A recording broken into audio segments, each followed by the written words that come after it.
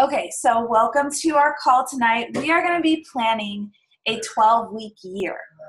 And if you are not familiar with what a 12 week year is, um, it is a way of setting goals and it is a way of um, making plans that actually move the needle and that help you to make progress on your overarching goals for your life.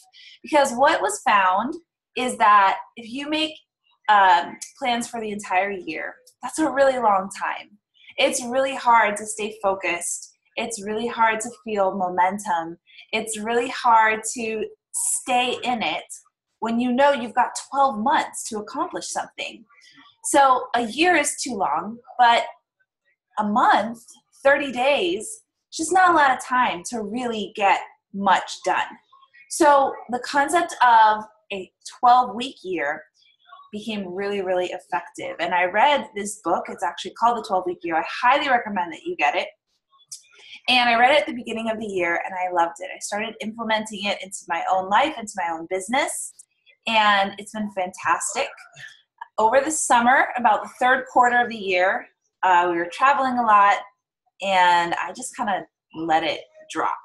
And so now I'm really excited to jump back in, and I thought I would just do a crash course for you guys on what the 12 week year looks like. And if you have a notebook, I highly recommend that you get it out. If you don't, I recommend that you grab a piece of paper or something to write with because this is going to be an interactive um, call. And now I don't necessarily expect for you to have your whole 12 week year planned out by the end of this call, but I would like you to get started on brainstorming some ideas, taking some notes, so that when this call is finished, either you can take half an hour afterwards, depending on what time zone you're in, or you can take some time tomorrow and you've already sort of got the ball rolling and some thoughts written down for you to go ahead and plan out that 12 week year for yourself. So you're definitely going to want to write some things down. So now why would why do we even set goals? Let's just start all the way at the very beginning because I really like to set this as a foundation. Why do we set goals in the first place?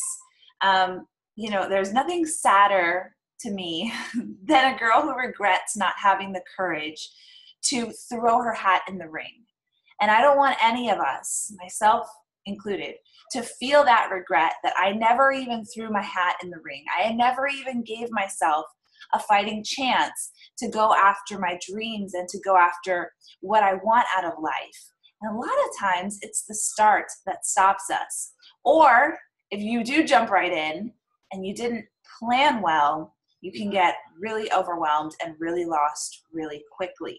So I want you to instead of thinking, you know, when you have those dreams, when you have those inspirations, when you have those moments of vision and clarity, instead of thinking of all the reasons why it won't work, I want us to be the kind of women who are solution oriented and who think of all the reasons why it can, who come up with at least three reasons why this is something that we should invest our time in and what that we should do.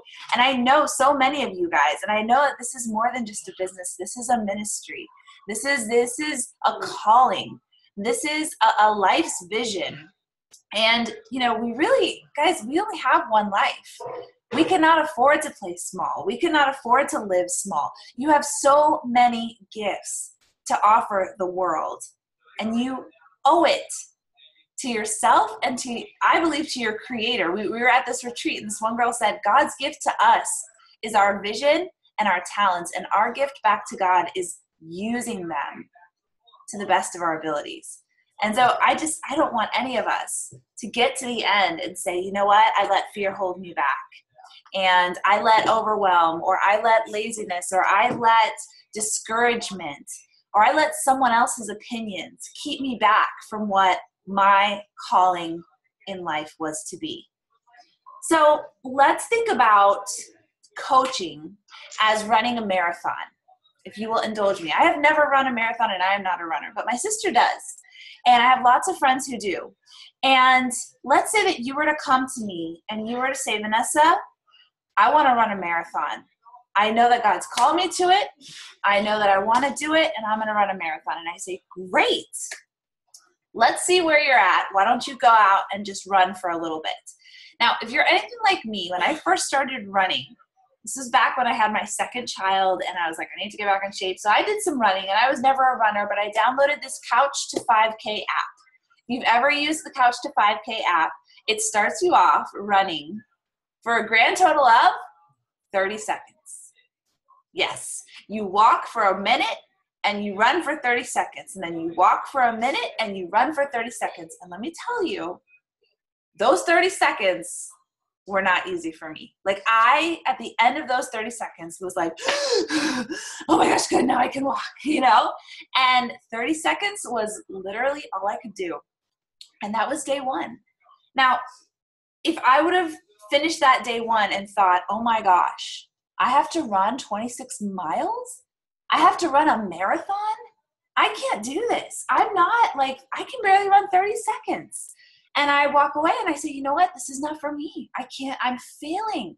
If I went out and tried to run a marathon on day two, I would fail. I would probably die. I would not finish the marathon because I was not trained. I was not ready. My lungs were not strong enough. My endurance was not strong enough. My mindset was not strong enough. My legs were not strong enough. But you know what marathon runners do? You know what that 5K app did for me? it slowly increased the intervals.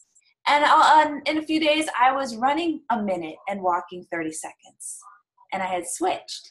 And then I remember the first time I did like an eight minute stretch of no stops in my running. And I ran for eight minutes without stopping, and I felt so proud of myself.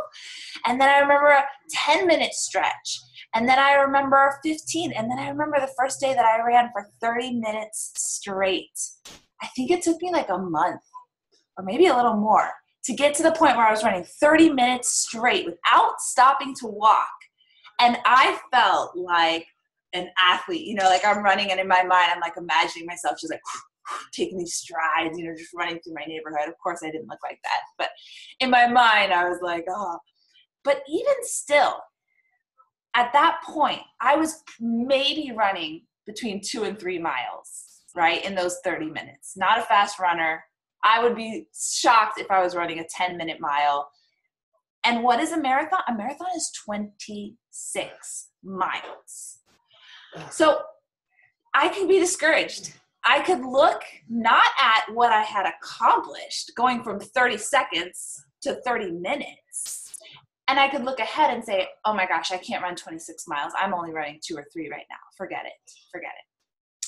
And I feel like a lot of this is very similar to coaching.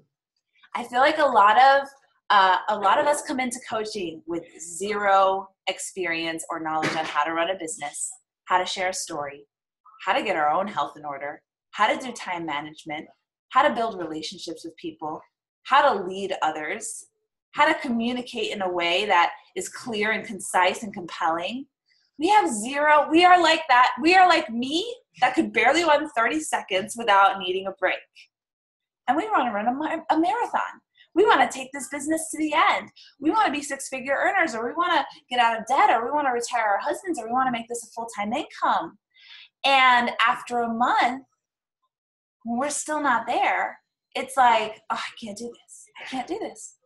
But what's the reality? The reality is, I could run a marathon if I wanted to physically there is nothing keeping me from running a marathon because I know women who are in their 60s who have run marathons. I know women who have disabilities and pain and all sorts of things that I don't have who have run marathons. Physically speaking, there's nothing keeping me from running a marathon, but I can't run it tomorrow. And I probably can't even run it in a month. But what marathon runners do is they have these training calendars and they tell you when to run your long runs and when to run your short runs. And they gradually stretch you. And at the end of those train i don't know how long it is maybe three months. I, am not even sure. My one of my friends is training for if you guys know let me know.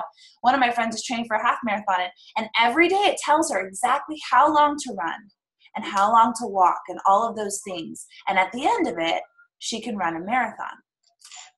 And i feel like it's the same with coaching guys. You're not going to go out and run even an eight minute stretch. Like it took me forever just to run that eight minute stretch without walking. But if you have a plan and you follow the plan, there is nothing keeping any of you from being that top coach that you want to be. It's going to just take consistency, belief, and time. And so that's what we're doing with our 12 week year right now, guys. We are setting a plan that is going to take you from one point to the next. Now, before I go into the nitty gritty of how to get this plan set in place, is running a marathon, here's my question Is running a marathon even your goal as a coach? And what I mean by that is, is being a six figure earner or being a top ranked coach or building a giant team, is that even a goal of yours? Um, because some people they start running and they think they want to run a marathon and then they they're like you know what? Actually i just want to like run three to five times a week. I really love running. I can run for half an hour without stopping now. I'm feeling really comfortable in that. So that's all i want to do. I just want to be able to run three to five times a week and that's totally fine. Um, and what i would like you to do and this is where i want you to take out your journals i want you to discover this for yourself how do you want to feel in life? How do you want to feel? What what is that feeling that you are chasing after? And at the retreat that we went to there was a whole list of words. I wish i could share them with you but there are things like words like confident empowered. There were words like abundant and alive. There were words like brave.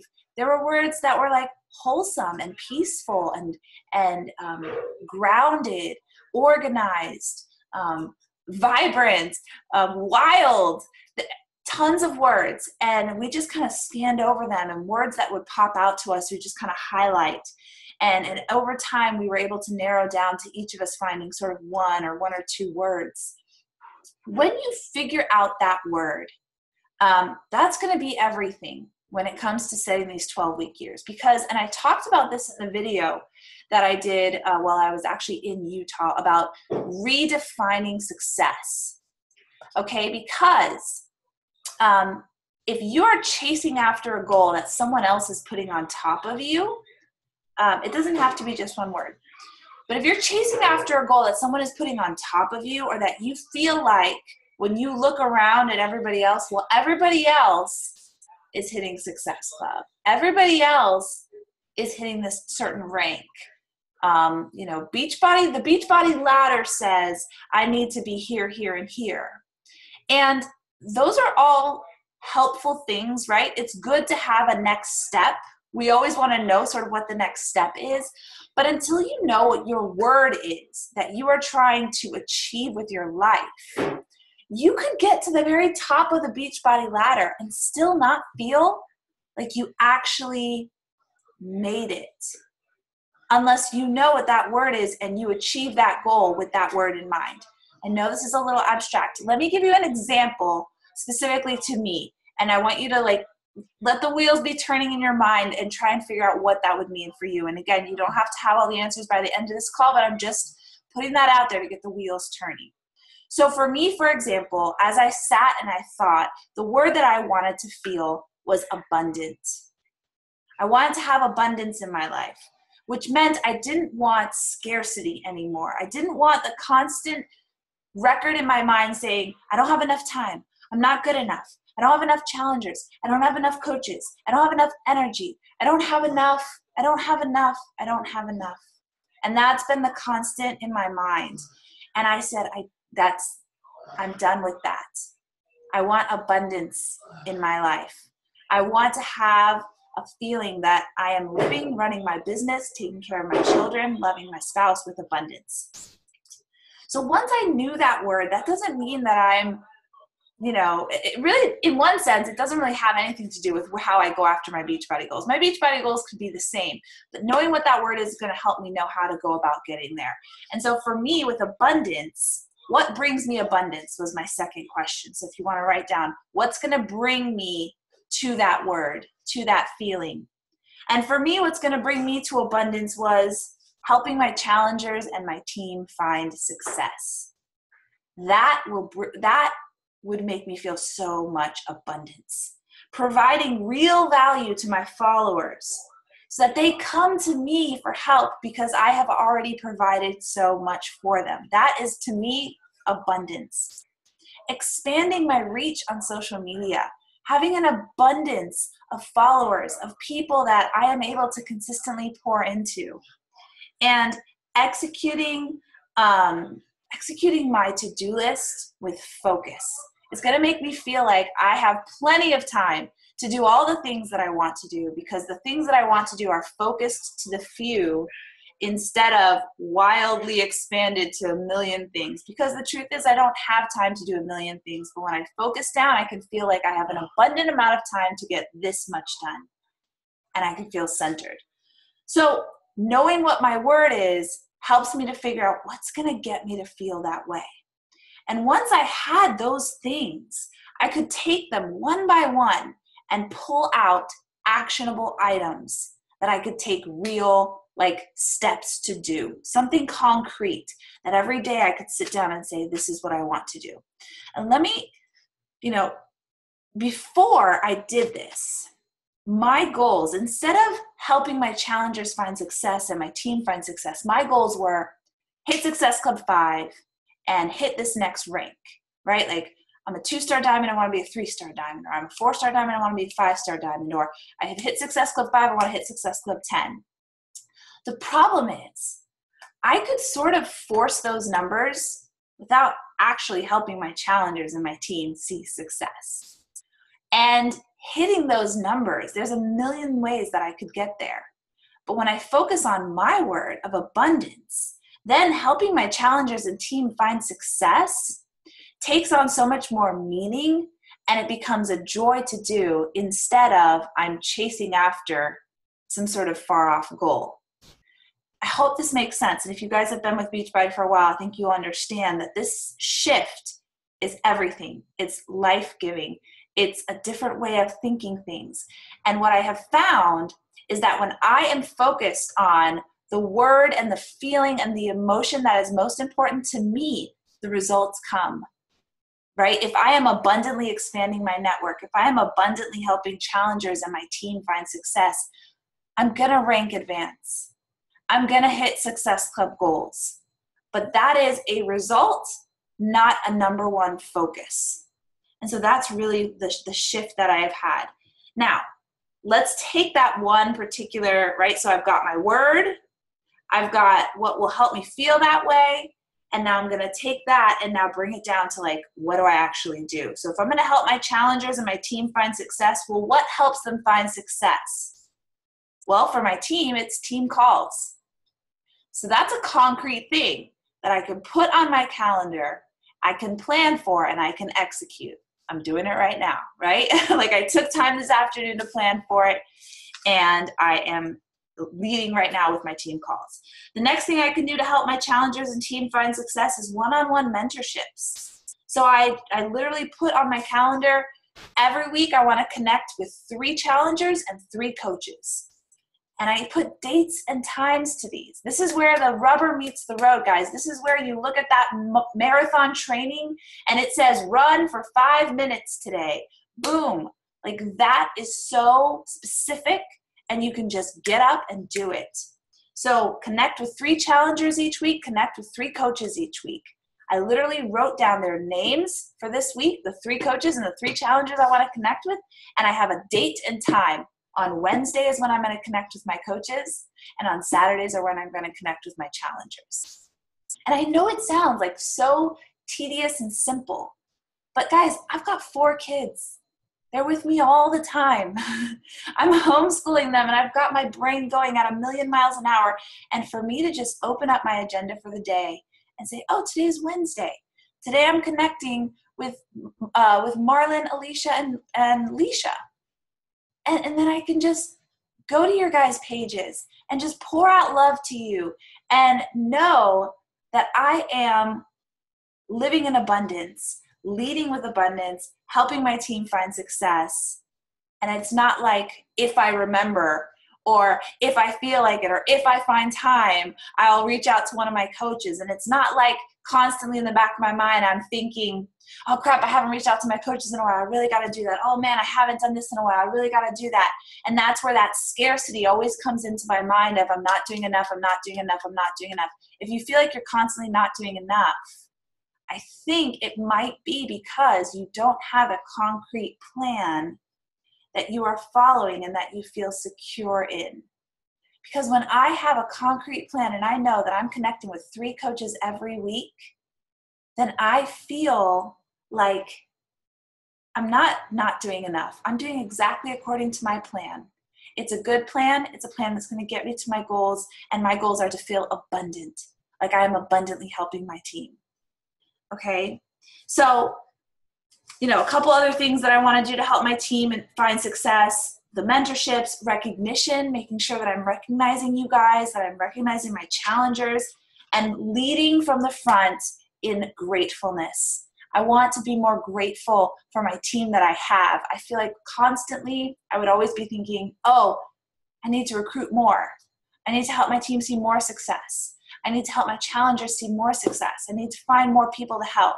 And yes, I do need to do that. But if I'm doing it from a place of scarcity, I'm going to constantly be feeling like, again, not enough, not enough, not enough, as opposed to doing it from a place of gratefulness. And every morning I wake up, I am grateful for that challenger. I am grateful for that conversation. I am grateful for that coach.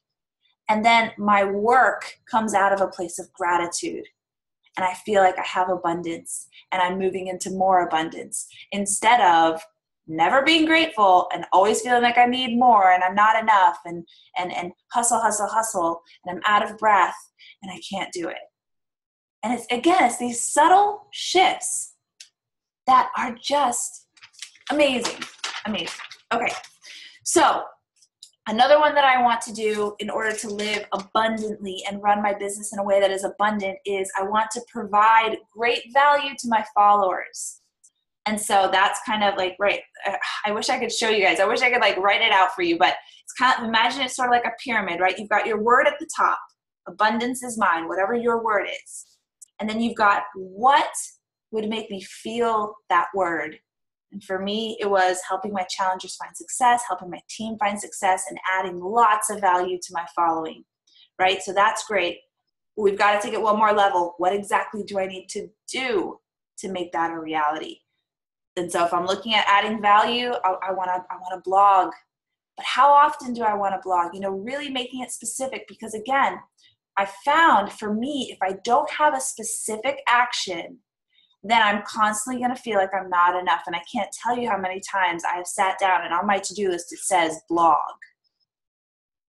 And I'm constantly like, oh crap, I haven't blogged enough. Oh crap, it's been so long since I've blogged. Oh man, I'm not blogging enough. I'm not blogging enough. I'm not enough. I'm not enough.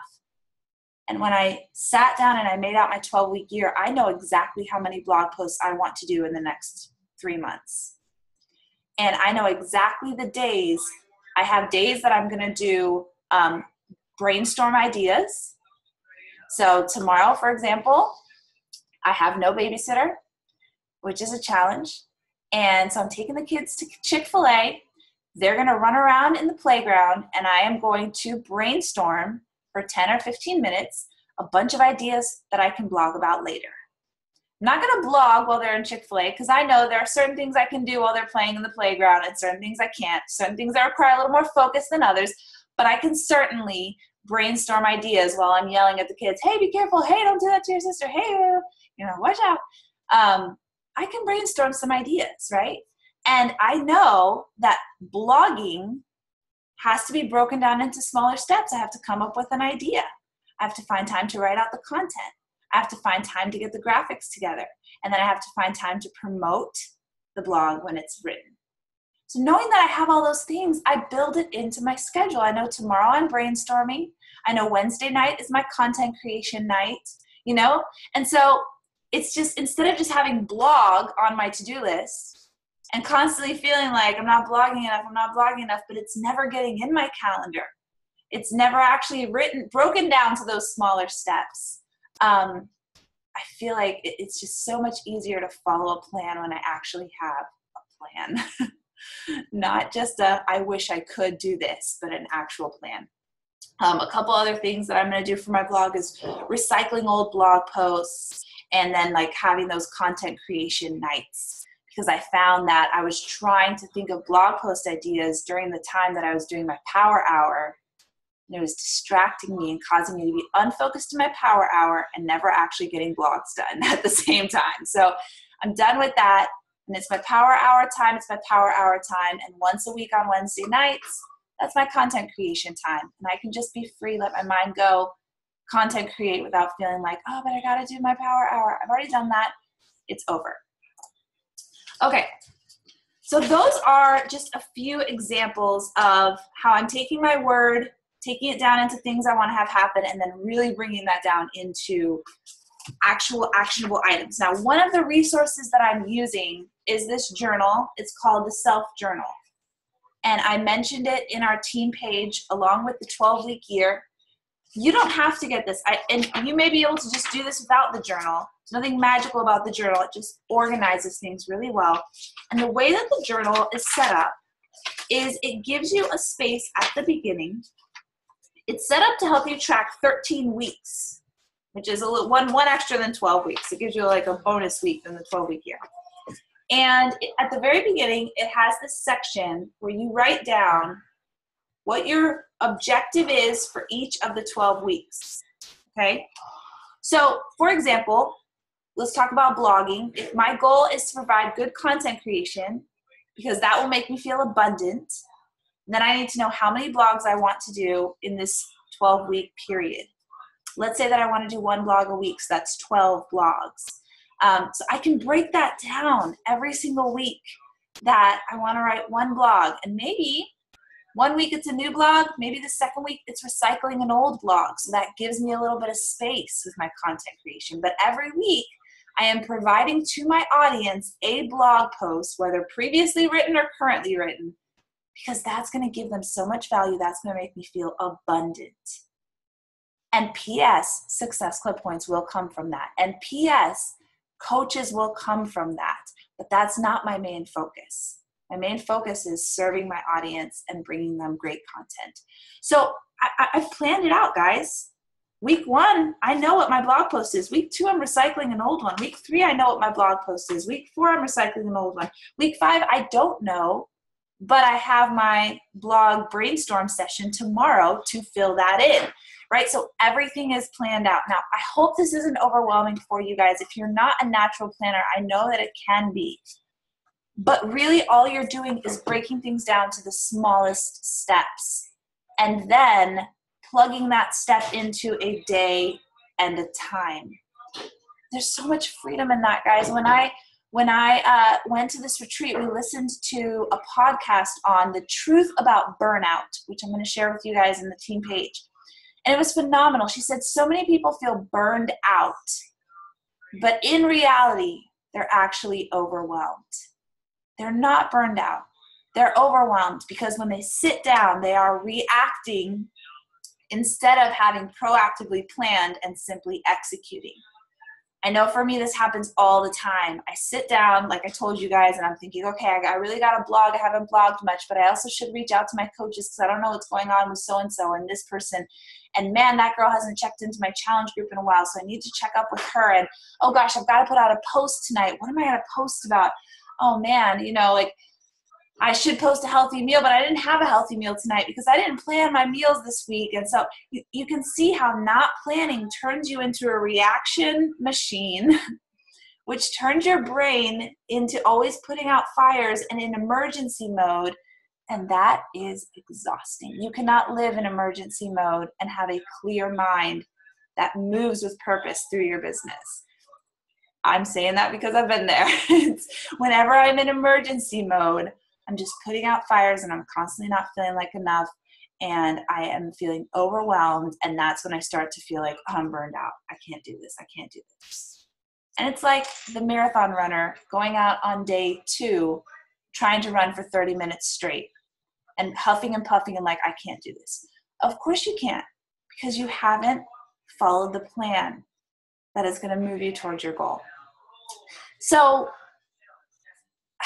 where do we go from here? I would love for each of you, at the minimum, to know what your word is by the end of this week. And to know, at least have two to three things that are going to help you feel like you are accomplishing that word. Like the abundance that I had, and then helping my challengers and my coaches see success, and providing great value to my audience. Right? So I have my word and my two things. Don't even feel like you have to go down into the details if you don't, if that's too overwhelming. But at a bare minimum, I would like you to know your word and what will help you feel like you are accomplishing that word. Okay? And surprise, surprise, as you do that, you may automatically start thinking about things that you can do to accomplish that because that's just the way our brains work right? Like if you are if one of your goals is to provide great value for your audience you might all of a sudden just think like man what if i did like a 30 day free group on prayer where we pray every single day about something in our lives? Like you know the, the mind is naturally creative when you give it a direction. When everything is open our minds kind of shut down. But when you give your brain like a specific direction, how can you provide value to your audience? It kind of just starts going off on its own. So don't feel like you have to come up with all the nitty gritty details, but you may want to just keep a page open in your notebook because that might come automatically for you. Um, it's really gonna it's really gonna open up. Um, yeah, so I have a few more things, but we're running out of time. So I think that's good for um, right now. The last thing that you need in a 12 week year, and this is what I love about the self journal, is you need to be able to track your activity so that you know if you're executing or not. Just like that marathon calendar, you know, you got to print it out so you can actually exit off as you're going through and see where you're at. And if you're falling behind if maybe you need to sign up for the marathon a couple months later and not the one you originally wanted to you know um, so in this particular uh, uh, let me flip to a blank page so you don't see all my chicken scratch but in this particular journal um, it's it's really great i love it it's got a whole you know like a basically you know the time slot 6 a.m to 9 p.m where you can write out sort of your agenda it's got a place for morning gratitude, which I am really, really big on right now. Um, it's also got a place for your goals. So let's say my goals are, you know, add great value and um, help my challengers and coaches see success. I want to write that out every single day. I want to make sure that that's burned into my brain. And then it's got your top three targets for today, right? So tomorrow, one of my top three targets is take the kids to Chick fil A and write out some blog ideas boom, like that's one of my top targets. And I know that because I know for the 12 week year what my targets are. Um, and then it's got a place for your wins where you're going to celebrate how good you did that day and a place where you go, you got some lessons that you got to learn. Maybe you made a few mistakes. That's okay. You learn from those. And then at the end, a nighttime gratitude where you write down three things you're thankful for at night. And um, I love this journal. It is it is wonderful. Um, at the end of each week, it's got even like a weekly overview where you can see how well you did in all of your different things. So, um, yeah, so I'm going to end here. Please, please, please, if you can, I'd love for you to jump back on afterwards. I want to hear from you guys and field any questions you might have um, because we're going to, you know, we're going to do this as a team. We're going to get after some goals, um, goals that come from heart not from external what others are doing, what Beachbody says, what you feel like you have to do to feel like enough because you're enough just as you are today. But we still want to go after goals because that just makes us grow. We want to grow. Okay, so I'm going to end it here and I will see you guys in just a second.